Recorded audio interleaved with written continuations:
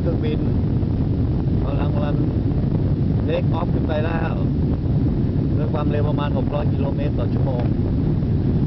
จากสนามบินนาริตะประเทศญี่ปุ่นวันที่ 28 มีนา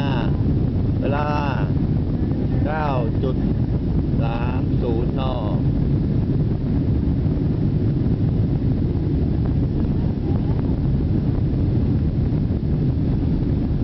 นำชาลิด้าสู่กรุงเทพมหานคร สนามบินสุวรรณภูมิ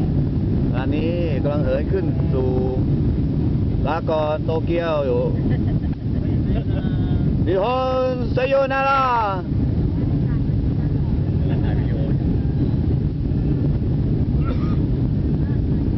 เออเนี่ยสวยมากเลยชอบเดี๋ยวจะ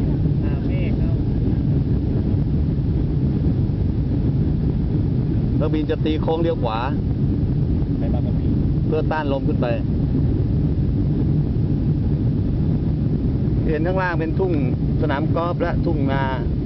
ของชาวญี่ปุ่น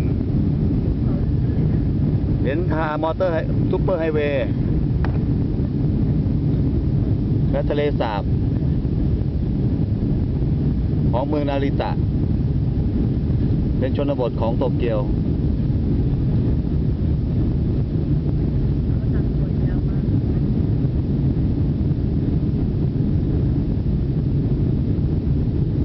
เครื่อง บินกำลังไต่ระดับเขาไฟไหมคะยังไม่เห็นเลย มันยังไม่เข้าทิศจะออกอะ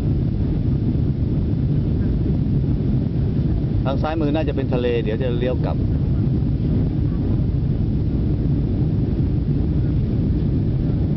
เริ่มแตะเมฆบางส่วน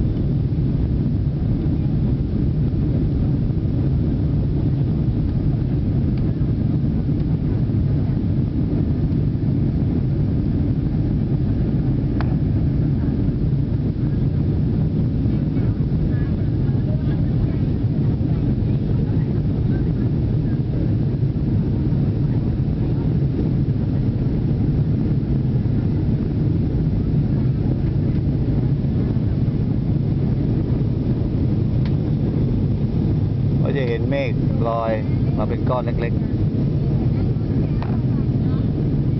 มีเมฆลอยต่ำแล้วนะครับเครื่องบินไล่ระดับขึ้นไปความสูงขึ้นเรื่อยๆข้างล่างก็จะเห็นสนามกอล์ฟของญี่ปุ่น